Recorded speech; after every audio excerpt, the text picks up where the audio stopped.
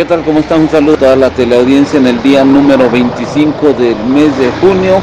En la recta final les comento que durante la noche del día de ayer, lunes, al interior de un domicilio ubicado en la Junta Auxiliar de San Juan Tejupan, una mujer de 22 años de edad que presentaba problemas depresivos determinó quitarse la vida.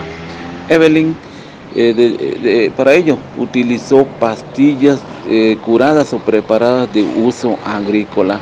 Fueron sus familiares quienes descubrieron que todavía estaba débil, con pérdida de conocimiento y procedieron con sus propios medios a llevarla a un hospital de la ciudad de Atlesco, para ser más precisos, al complejo médico Gonzalo Río Arronte, pero lamentablemente debido a la gravedad y a los efectos que presentaba del consumo de las pastillas que no se precisó la cantidad, es que ya no presentaba signos vitales. De ahí que eh, el personal médico del complejo médico Gonzalo Río en la ciudad de Atlisco lo notificó a la Fiscalía de Investigación Regional con sede en Atlisco y cuyos elementos de la Agencia Estatal de Investigaciones procedieron al levantamiento de cuerpo que fue ingresado al CEMEFO o Servicio Médico Forense en la ciudad de Atlisco.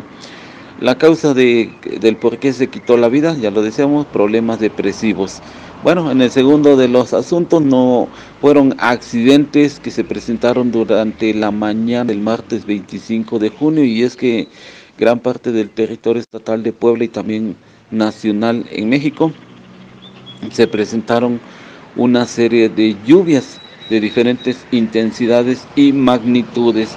Pero en la carretera federal número 190 que comunica de Puebla hacia Guajuapan de León, para ser más exacto, en el paraje conocido como Los Papayos, en el municipio de Ahuehuetitla, se presentaron deslizamientos de tierra que cayeron sobre la, la carretera.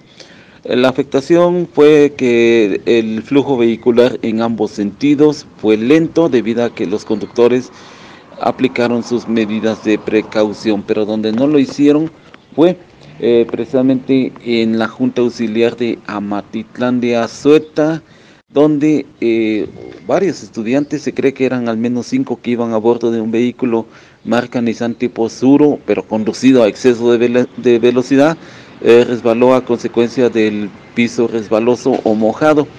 El vehículo dio una voltereta, no volcó, quedó en la misma posición, cruzado sobre la vialidad urbana de Acatlán de Osorio.